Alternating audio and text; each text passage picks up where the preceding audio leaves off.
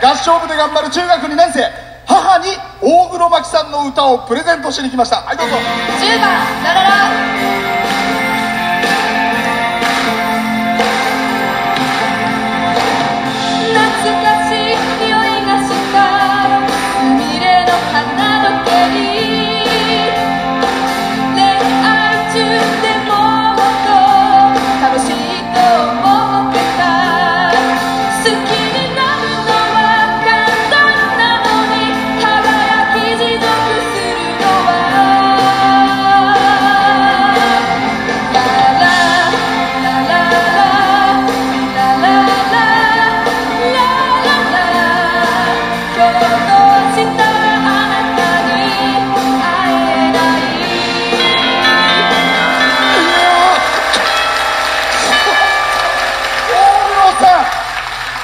素晴らしい。学生のラララ本当に心洗われる美しい声だった。ありがとうございます。いやもうお母さんより年上かもしれないからもう孫気分だった今もう本当に。